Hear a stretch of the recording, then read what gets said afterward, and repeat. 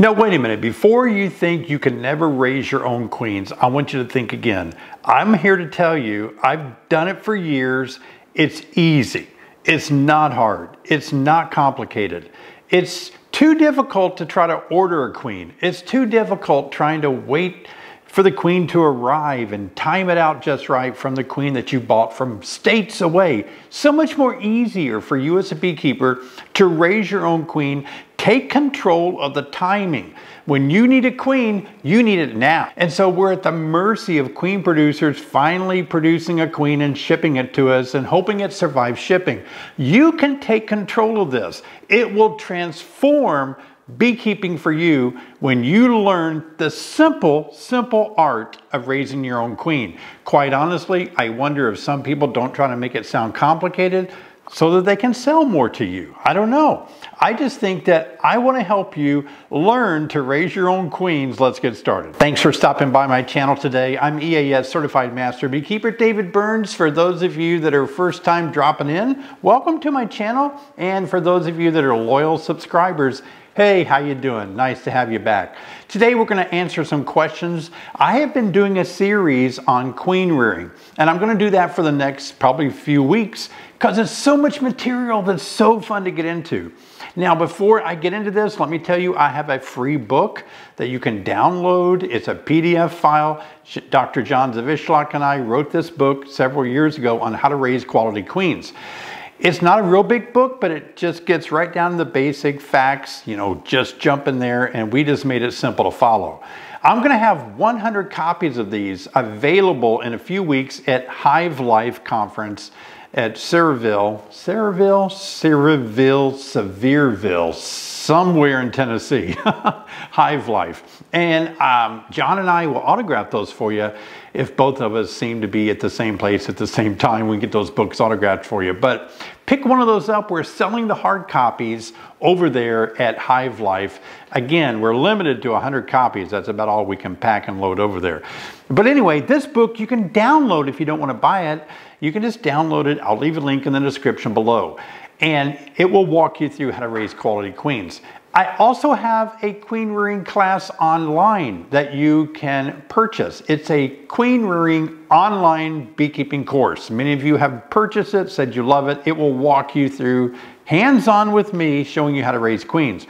But I'm gonna give you a good education on queen rearing in the next few weeks here on my channel. Today I wanna answer three questions that commenters, viewers, like yourself have left in my comment section because I think it's really important to get into because these questions are fundamental. But before I do, some of you may have not heard my story, so let me just tell you my story real quick, how I got started in queen rearing. I was wanting to make a living on uh, making honey. I thought if I had enough hives, I could make enough honey and make a living. Well, boy, that didn't work out very good. I mean, I had a lot of hives at the time, but it takes a lot of work. And honey wasn't selling for much. It was like a buck 50 at the time a pound, you know, and so it wasn't making enough to, for me to raise my family. So I actually was at a conference and I heard Joe Latshaw uh, present queen rearing and he was talking about how he raises breeder queens and he was a really nice guy. So I got a hold of him, either email or I called him up. I said, hey, Joe, can I bring my couple of my kids over that are interested in raising queens and, and can, would you teach us how to raise queens? I will pay you to teach us all day long. Whatever you want to tell me it cost, I'll pay it. Because I knew I could make money raising queens. Guess what? He invited me and two of my children over, who were teenagers at the time, and spent the day showing us how to raise queens. Priceless. He wouldn't take a penny for it. It was so nice of Joe to do that. And so I came home and started raising queens with my a couple of my kids. My daughter Carrie really got into it. She was a very good grafter and she just took off and started helping us so much raising queens. And I soon learned that I could make more money raising queens than I could selling honey. Plus, I needed queens. I'm making nucleus, I'm selling five frame nucs to people.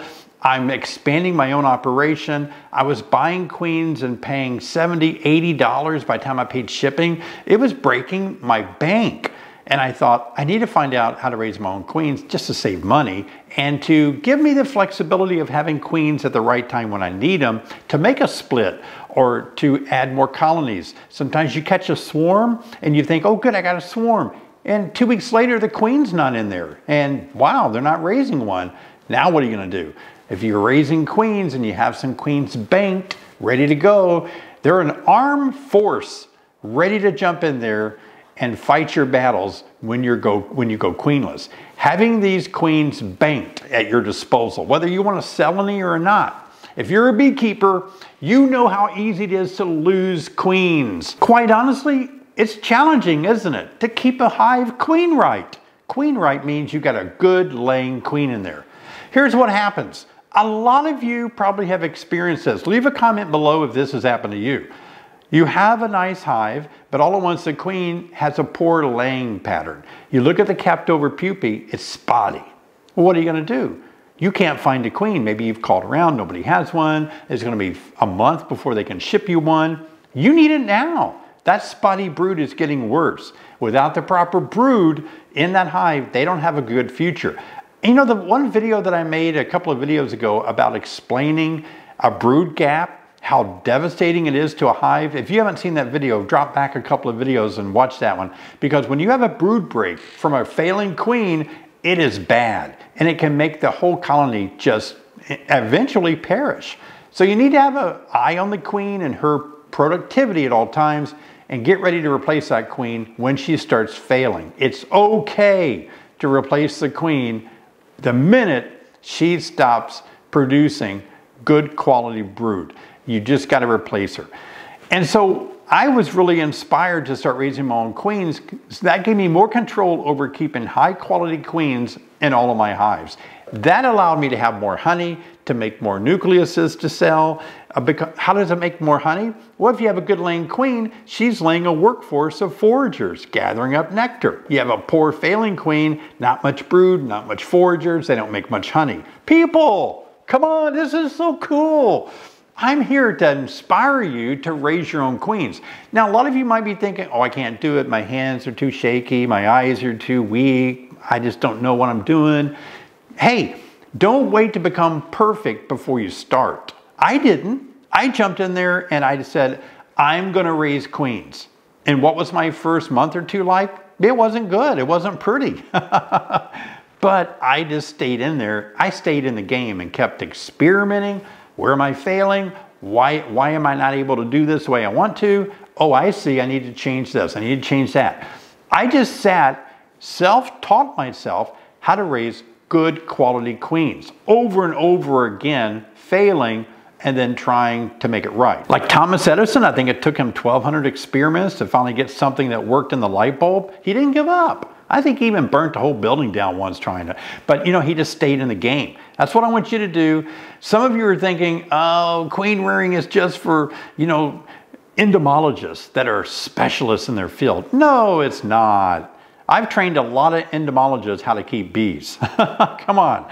Um, you can be a scientist and really sharp in biology and still not know how to raise queens, but you can be someone who is a citizen scientist.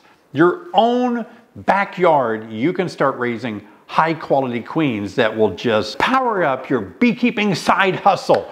Woo, come on, I'm excited. If you've tried queen rearing in the past, and failed, I get it. I had, I, I failed too. I started with what was called a NICOT kit, and it came with all these special little things where I didn't have to graft, but I could just put all these things in the hive, raise my own queens that way. I, I couldn't do it.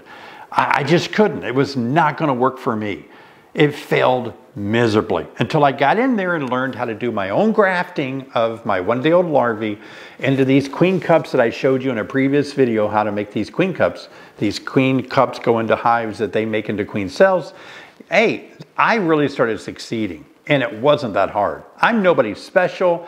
I don't have any special skills uh, as far as queen rearing up to the point where I just jumped in and figured it out. And, I, and so you can save yourself so many time consuming mistakes because I'm going to guide you through it.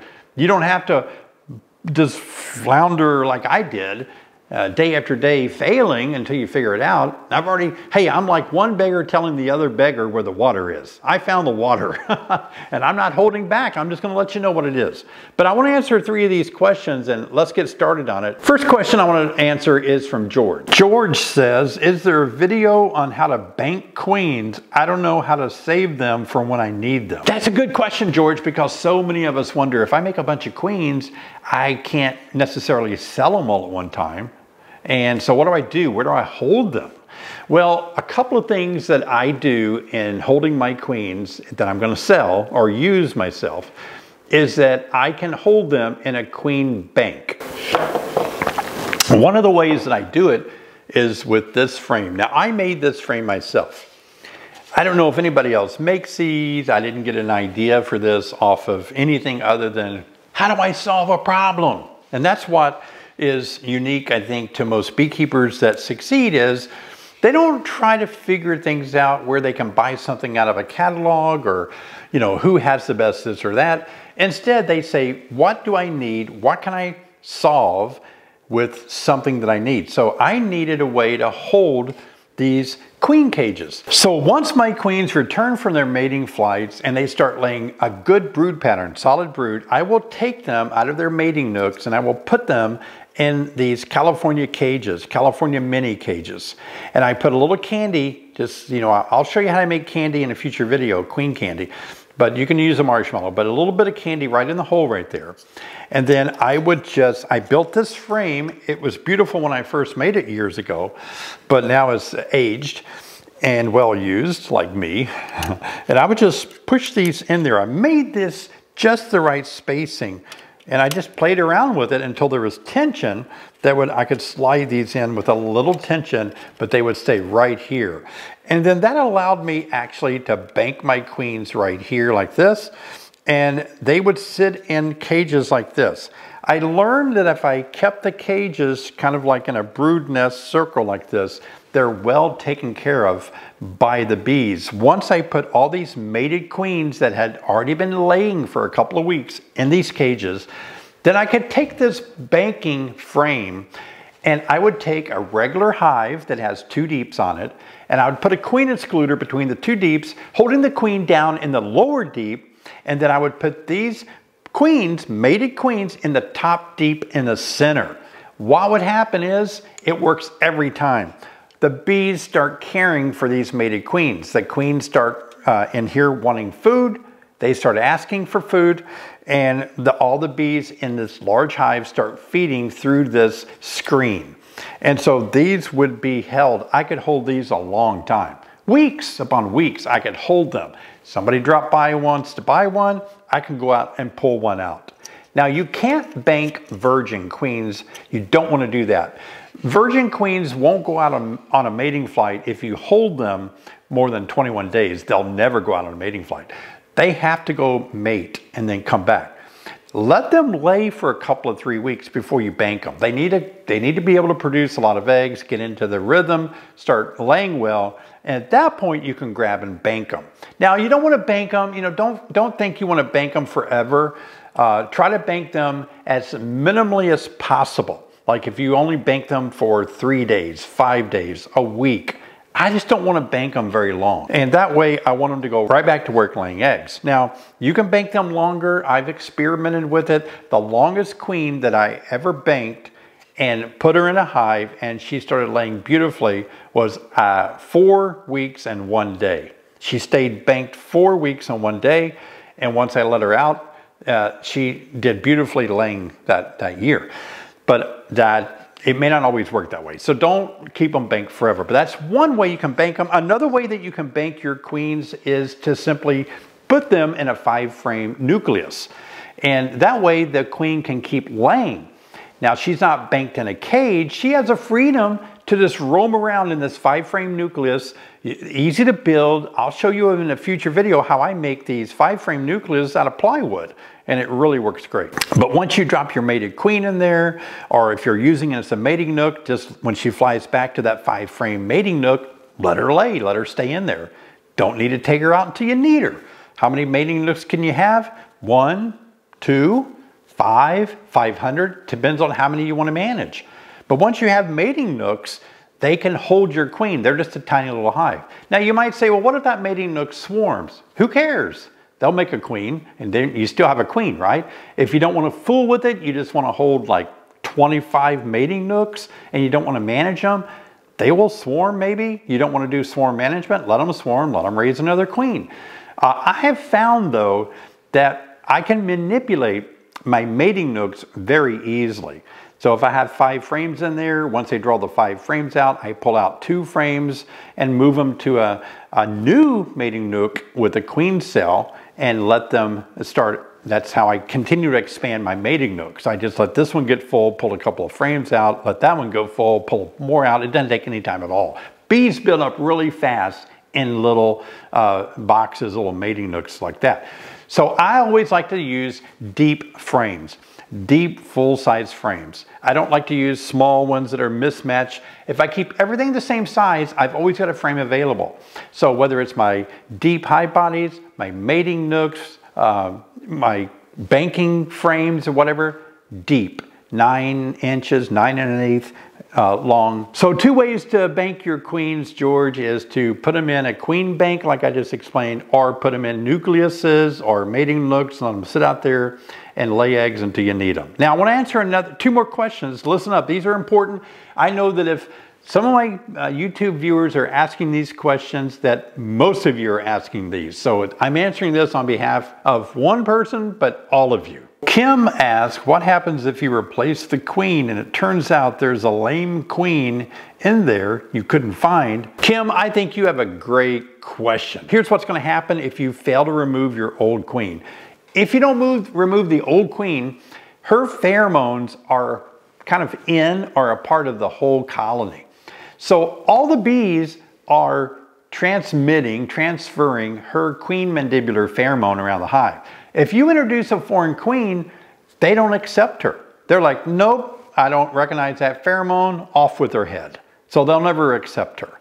Even if their queen is failing, they won't accept your better queen because they have the pheromones of their mama. So you have to get rid of the old queen, wait 24 hours before you introduce a new queen. Always introduce a new queen, not directly, but in a queen cage. This one, a plastic one, uh, one with three holes, a Benton three-hole queen cage, whatever. But you need to have candy, let them eat through the candy, have a slow introduction to a new queen. But you have to get rid of the old one, wait 24 hours to introduce a new one. Always do it that way whether you're making, you know, a replacement of a queen or whatever, you have to introduce her behind candy. So let me give you a few tips on what you can do to find your queen if you need to replace her, she's not laying well, or it's a mean colony. I sometimes have to do that with queen excluders. Let's say you have two deeps and a honey super. So you have 30 frames and you're looking all through those frames trying to find one bee, the queen. Well, what I do is go out there and suit up, smoke them, drop a, a queen excluder between every box. It takes two of them, one between the two deeps, one between the deep and the super on top. So I got two queen excluders. Now I have three spaces, three boxes that are contained, or the queen is contained. She is in one of those three boxes. I do this in case I'm having a really hard time finding her or she's real running, I can't locate, she's just jumping between boxes. Now what I do in this situation, it aids you in identifying where the queen is. You start with your super. If you think she could be laying up there and you've already put in your two queen excluders, wait about two weeks. Go back in, look in that super. Do you see eggs? Do you see brood? If you don't see eggs, larvae, or any brood in there, she's not in that super. Set the super aside. Take the queen excluder off. Go into the top deep because remember, you've had two queen excluders surrounding that top deep. In that top deep, do you see eggs, larvae, or brood? If you scan it real quick and see nothing, she's not in there, guess where she is? She might be in the bottom deep now, right? Now, whatever box she's in, to find her, you only have to look at 10 frames and usually the three on the wall sides don't really contain brood. So that's six, that means you have four frames to look at. Isn't that That's, you're just thinking, man, that's brilliant. Hey, if you like this video, give me a thumbs up. I'm telling you tips, guys. When you can't find your queen, isolate her with some queen excluders, and that way you minimize how many frames you have to look at, and she won't jump to the box below you while you're looking. Give me a thumbs up. Let me know you're getting value in the comment sections below from these videos that I'm making. So, Kim, that's one way that you can isolate your queen is with queen excluders till you finally find her. Then you just got to pinch fire her, and wait 24 hours and introduce the queen of your choice. That's what you have to do. Please, all of you listen up closely, don't introduce a queen hoping that your old queen is going to die off. No, the bees around her, her queen court, all the bees that have her pheromone will defend her till the end against all other queens that you throw in there. You're wasting your money. Now let's answer another question. Dave says, great information.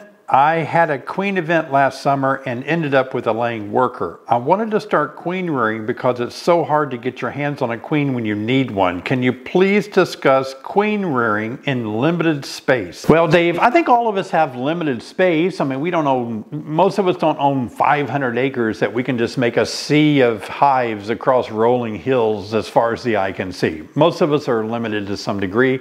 If you're not limited by space, you might be limited by sheer muscle and back muscles and workforce. so, you know, space isn't so much the problem as how much time do you have to fool around with your hives and raising queens. But let's say, let's go pretty average. Let's say you're a beekeeper with a backyard. Now, how many queens can you raise in your backyard? It, let's say you have one hive. Let's make it as small as we can. And let's say that hive is two deeps with a honey super. That's all you have. And you're thinking, I saw David's video about raising queens. I'm kind of excited. He got me excited about this. Can I raise queens in this backyard with one hive? Yes, I want you to do it this way. I was gonna make a whole video about this. I'm gonna sneak this in there really fast. I want you to take this hive that you have, and if you're pleased with how it's performing, I want you, I want you to raise queens from a successful hive, not a weak hive. But if you see good brood pattern, a lot of honey production, they're not dying from mites and diseases, hey, it's, it's a good hive to raise queens from. And all you need to do is find a uh, frame with eggs on it, and now you need to find a one-day-old larvae, graft it, and remember I showed you a few videos back how we made these queen cells with this special little thing I my uh, father-in-law made for me, make these queen cups, and you can take these queen cups and put them on a frame like this and drop them into a five frame nucleus. You can make your own. I'm gonna show you how you make your own. You can buy one, but that five frame nucleus is going to become your best friend. So now in your backyard, all you have is a hive and a five frame nucleus. Five frame nucleus, nine inches wide, you know, about 20 inches long. It's not a big footprint in your backyard. You have a big hive and one tiny little five frame nuc. So what you're going to do is you're going to build up that uh, five frame nucleus. I'm going to show you how to do this as a starter hive. Basically, you put young bees in there, 6 to 12 days old, brush bees off of open brood from your big hive, and then drop this in there after doing your grafting, and then you don't have to move it to a finishing hive. Let's just save time and say you want them just to raise queen, uh, two or three queens for you, or just one. Then you just drop it in there and leave it. They'll make a queen cell, they'll raise that queen, she'll go mate, she'll come back, you've got a queen sitting in a five frame nucleus box in a small space. I, am going to show all of you how to do that. I'm going to, in the next few videos that I'm going to make, I'm going to show you how to start very simple with just one hive and one nucleus. I'm going to teach you how to raise queens. All of us are going to raise at least one queen. And if, and if, it's the wrong time of the year for you, you're watching this video in the winter, that's okay. You can uh, save it somewhere, watch it again, take notes or whatever, so that when spring gets here, you can do it. It's gonna be so fun. So these are good questions. Limited space is not a problem. And especially starting learning how to raise queens, we're gonna take a very simple, gonna take the most simple way for you to learn to raise queens, and then we're gonna expand it in case some of you do wanna raise more for spring splits, uh, spring swarms that lose their queens, or maybe just the failing queens that happen to us all pretty regularly anymore. Or maybe you're wanting to expand where you can start making money selling queens. I'm here to help you. Gonna hold your hand. It's okay. You don't have to know everything. I don't care if you're a farmer, a banker, a lawyer, I don't care if you're a mechanic, an airplane pilot, a doctor, whatever your occupation is, but you want to play with raising queens, high five, we're going to learn together. Now, I want you to watch this last video in case you have a lot of honey and you've never experimented with cooking with honey. Join me and Sheri in our last video, Christmas holiday cooking with our honey. I'll see you over there.